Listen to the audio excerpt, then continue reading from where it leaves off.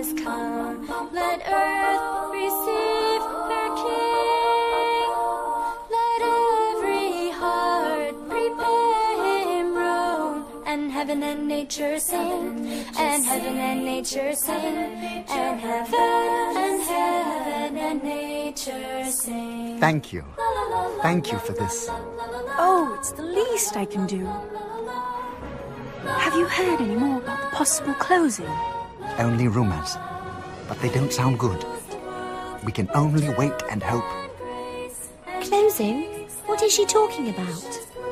Oh, the orphanage doesn't have the funds to stay open.